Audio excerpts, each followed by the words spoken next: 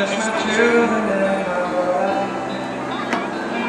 Thank my lucky stars to be here here today. Cause the flag still stands for freedom and it can't take.